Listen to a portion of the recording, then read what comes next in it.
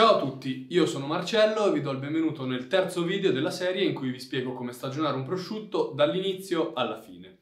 Dopo le prime due fasi che abbiamo affrontato nei mesi scorsi di salatura e speziatura, trovate i link in descrizione, oggi affronteremo il terzo step che è quello della stuccatura o più in gergo sugnatura, sugnatura che deriva dalla parola sugna, ovvero il grasso del maiale che utilizzeremo in questa fase. È un procedimento semplicissimo che richiede pochissimi ingredienti, vi serve appunto la sugna che potete procurarvi da qualsiasi macellaio o salumiere, uno spazzone per pulire il prosciutto e uno straccio eventualmente, ma veramente è una fase molto molto semplice.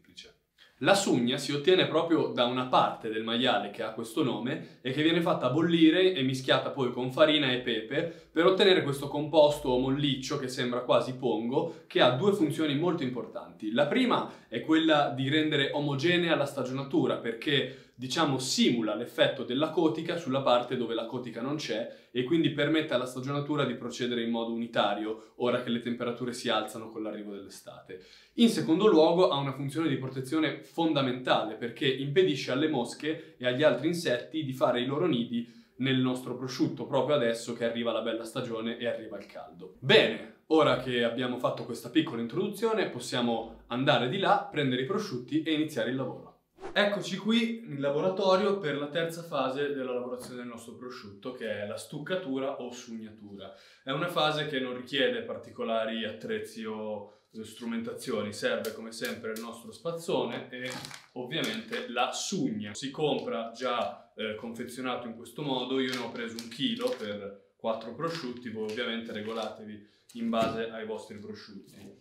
Si può in realtà anche produrre in casa comprando la, la sugna vera e propria, la parte del maiale, ma è un procedimento abbastanza eh, lungo che io non conosco e quindi agisco in questo modo comprandola già fatta.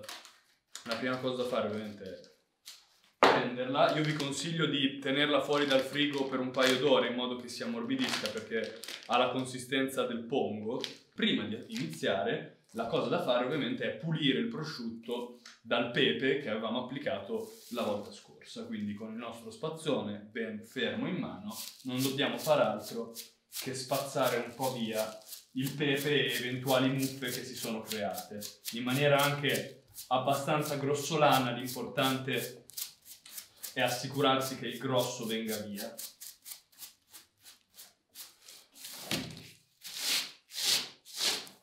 Una volta fatto ciò, questa lavorazione è relativamente veloce, nel senso che è sufficiente prendere una porzione di sugna nella vostra mano e iniziare ad applicarla partendo, come sempre, ormai lo sappiamo, dalla zona intorno all'osso, che è quella più eh, delicata e più critica. Quindi in questo caso proprio la, infila, la, la, la spingete come se fosse del pongo attorno all'osso per evitare che appunto qualsiasi insetto possa entrarvi dentro. Una volta che avete finito questa parte importantissima, mi raccomando state attenti a non lasciare nessuna fessura perché potrebbe essere cruciale, un errore veramente, un errore veramente che potrebbe costarvi caro e potrebbe portarvi a buttare via il prosciutto intero. Dopodiché non è necessario applicarne tantissima, a volte si vedono prosciutti pieni di sugna su tutta la cosa che è più secondo me un vezzo estetico che non una vera cosa utile per la vostra stagionatura. L'importante è che vi concentriate sulle crepe e, sul, e, e sulle fessure, proprio i punti più eh, facili e preferiti da mosche e altri insetti. Con il pollice la spingete in queste fessure per chiuderle, come potete vedere, come sto facendo io adesso. Voi continuate così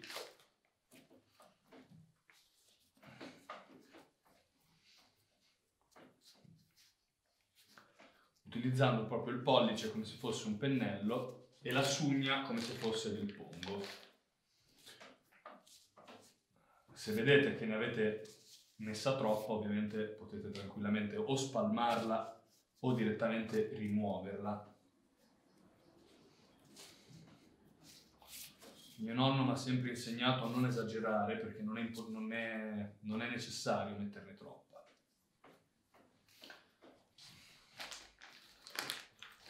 Vedete è importante appunto queste crepe invece è molto importante coprirle perché qui sì che invece le mosche possono possono entrare. Potete usare anche il palmo delle mani, un po' come facevamo qualche mese fa per il sale.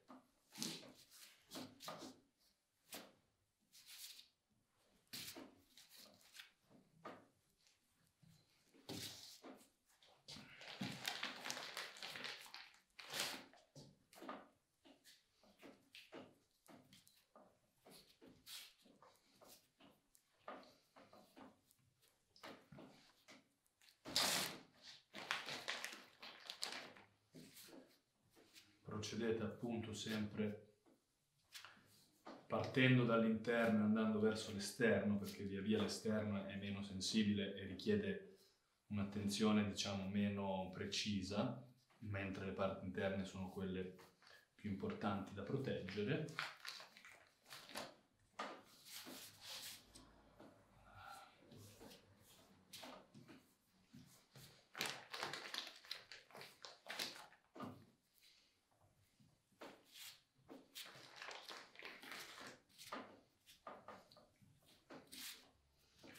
In ultimo, ma assolutamente non meno importante, dobbiamo occuparci di questa zona. Questa zona è la zona magra ed è per questo che la sugna serve, per ammorbidirla un po', perché se queste parti grasse, come vedete, sono già morbide di loro e non hanno bisogno che aggiungiamo della sugna, qui invece si rende necessaria proprio per ammorbidire la carne ed evitare che il prosciutto si secchi. Quindi procediamo.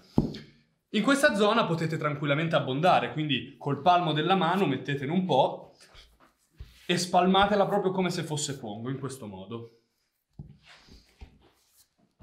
Perché se è vero che non è necessario mettere tantissima sugna come nei prosciutti che vedete esposti al supermercato, è altrettanto vero che se viene messa un motivo ci sarà, quindi un po' serve.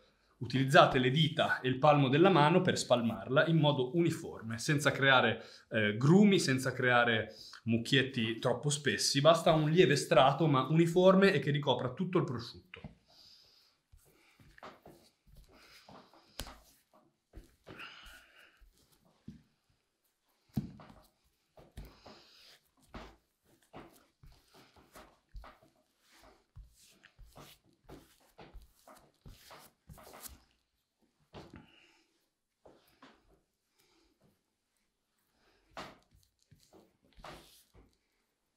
Un'altra parte importante, che di solito a volte ci si dimentica, è lo zoccolo. Lo zoccolo è fondamentale, anche qui è sufficiente un po' di sugna per tappare proprio la parte alta e prevenire qualsiasi possibile ospite indesiderato, ecco, mettiamola così. Visto che quest'anno abbiamo eh, realizzato i prosciutti facendo questi tagli, questo, alcuni mi sono venuti un po' troppo profondi, qualcuno me l'ha scritto anche nei commenti e aveva ragione, eh, io ne metto un po' anche qui per, proprio per evitare che, che possa succedere qualcosa anche da queste fessure. In generale appunto la regola è mettete la sugna dove sapete che gli insetti potrebbero fare un nido, fondamentalmente. Ecco fatto, una volta che avete sugnato tutti i vostri prosciutti li potete appendere nuovamente e lì potranno continuare a riposare per i mesi a venire. Per cui io personalmente li sposto da, dalla zona che avete visto nei video precedenti a un'altra per, semplicemente per una questione eh, di spazio più adeguato alle temperature estive. Ma questa non è una regola, dipende veramente dal posto in cui voi li conservate che come abbiamo detto nel primo video deve essere un posto fresco, arieggiato e riparato da fonti luminose molto forti. Per cui ritornate ad appendere i prosciutti dove erano e lasciateli lì, controllateli ogni tanto. Ecco fatto, anche questa terza fase della lavorazione è giunta al termine e la stagionatura del nostro prosciutto ora può procedere in maniera del tutto autonoma almeno per altri sei mesi. Aspettate che arrivi l'inverno, prima anche solo di pensare di farlo tagliare. La lavorazione, come vi dicevo, si conclude qui. Eh, non ho altre cose da insegnarvi se non il fatto di andarli a controllare periodicamente, spazzarli dalle muffe che si formeranno, ma come abbiamo imparato sono muffe buone, fisiologiche, che garantiscono che il prosciutto sta stagionando correttamente e non sta marcendo. Per qualunque dubbio, domanda o richiesta di supporto che vi viene in mente durante la vostra lavorazione potete tranquillamente scrivermi nei commenti. Ricordatevi che io non sono un macellaio, non sono un salumiere, ma sono un semplice appassionato che ha imparato a fare questo procedimento da suo nonno, quindi non sono un esperto e le regole che vi do io non sono regole universali, ma sono semplicemente il frutto di quello che ho imparato in circa 10 anni di lavorazione. Iscrivetevi al canale per rimanere aggiornati sulle ultime novità e grazie mille per avermi seguito fino a qui.